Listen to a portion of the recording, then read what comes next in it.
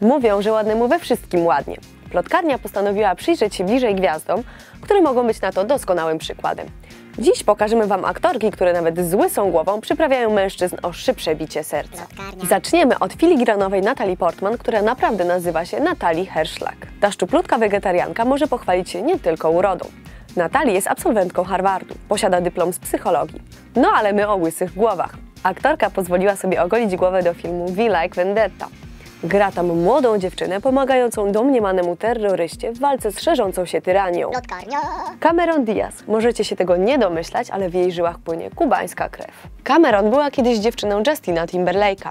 Obecnie gwiazda spotyka się z wokalistą zespołu Maroon 5, Adamem Levinem. W życiu zawodowym bywało równie barwnie. Cameron nieźle bawiła się podkładając głos Fiony w animowanym Shreku. Aktorka zrezygnowała z włosów dla roli w dramacie My Sister's Keeper. Cameron gra tam matkę, która goli sobie głowę na znak solidarności z córką, która choruje na białaczkę.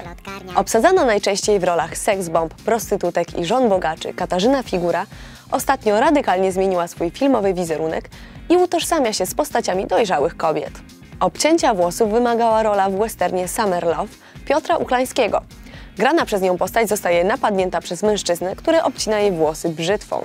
Demi Moore znana jest nie tylko z pięknego, wysportowanego ciała, ale także z niecodziennych posunięć, jak na przykład pozowanie nago w siódmym miesiącu ciąży.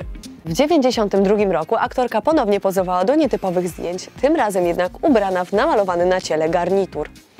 Filmie G.I. Jane Demi Moore gra pierwszą kobietę, która przechodzi szkolenie w elitarnej jednostce komandosów Navy SEALs. W jednej ze scen sfrustrowana bohaterka sama goli sobie głowę. Podobno prywatnie aktorka uwielbiała swój nowy, krótki imidż.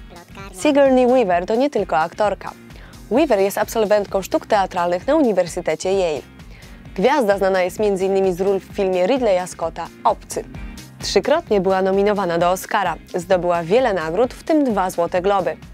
Sigourney pojawiła się łysa w trzeciej odsłonie Obcego. O jakiej gwieździe zapomnieliśmy, która bez włosów wygląda równie seksownie jak z włosami? Forum na dole już czeka na Wasze wpisy, a ja przypomnę, że możecie wysyłać swoje propozycje na dalsze odcinki na adres widoczny na ekranie. Cześć!